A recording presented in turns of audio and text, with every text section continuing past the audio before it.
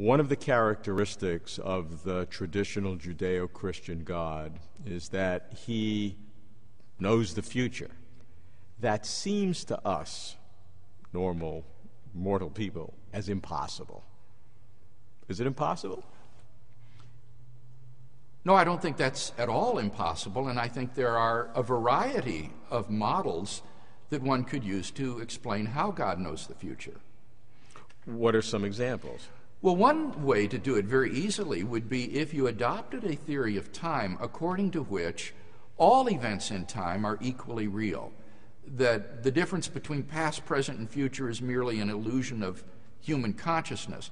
On this sort of view of reality, the future is as real as the past, and they all exist uh, equally um, robustly and are therefore available for God to know. So if God simply exists outside this space time manifold, he can see, in a metaphorical way, everything that transpires in the manifold. So if you adopt this view of reality as a four dimensional space time block, foreknowledge is very, very easy to explain. Suppose, though, God is not outside of time, but exists in time with us.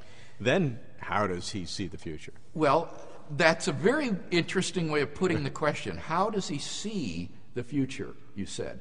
And I think, Robert, that that betrays a presupposition that uh, God's knowledge is akin or analogous to perceptual knowledge. And we, on this view, we think of God's knowledge of the future as some sort of foresight, that he, he looks ahead and sees what's going to happen, and that's how he knows it. And this kind of perceptual approach to God's knowledge, I think, does run into real problems if you have a view of time according to which temporal becoming is a real and objective feature of reality. Because it hasn't happened yet. Because there is no reality to look ahead and see. But I think that construing God's foreknowledge on the model of perception is just completely wrong. When you, when you think about God, that's terribly anthropomorphic in any case. God's knowledge of mathematical truths or ethical truths isn't based on anything like perception. Rather, I would adopt what we could call a conceptualist model of God's foreknowledge rather than a perceptualist model.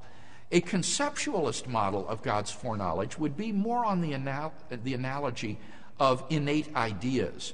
Uh, persons like Plato, for example, thought that we have innate knowledge of certain truths and that education is not really acquiring or learning new truths, but simply bringing to consciousness this innate knowledge that we already have.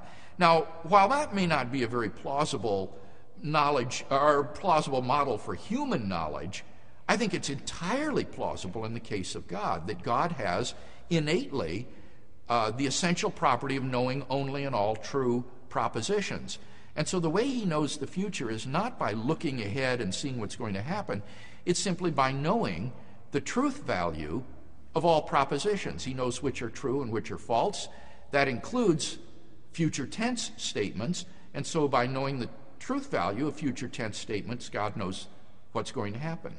It, it sounds like that is philosophical meanderings. Oh, and, really? and rather than uh, but are those events real? They're not real. No, no, that. they're not. But but the idea that they have to be real in order to be known is based upon this assumption of a perceptualist model of divine cognition.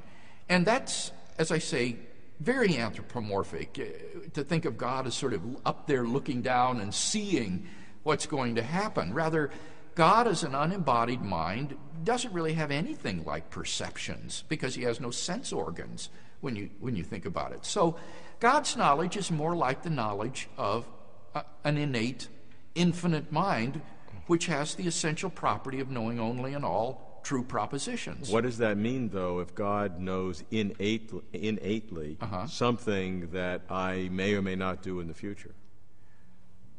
What that means is that one of those statements is true. Either you will eat pizza tomorrow for lunch or you will not eat pizza tomorrow for lunch. One of those statements is true and one is false because they're contradictories. Right.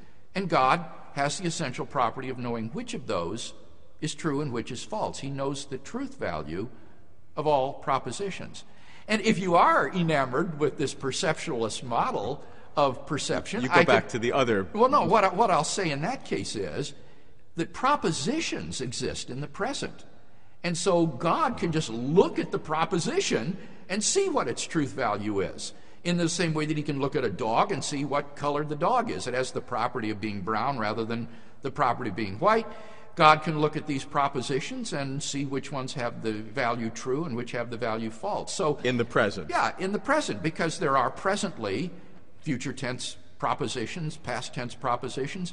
God can look at them and see their truth value. So Now, I think that's completely misconceived. As I say, his knowledge isn't like perception, but for those who are wedded to this idea of perception, they seem to have forgotten about these propositions that exist that God could look at and inspect.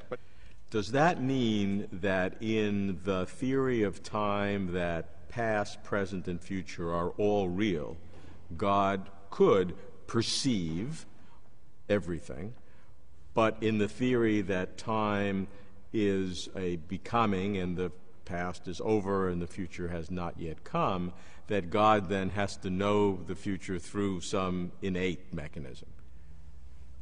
I think that the analogy of perception works on the, the tenseless view of time, where everything is equally real.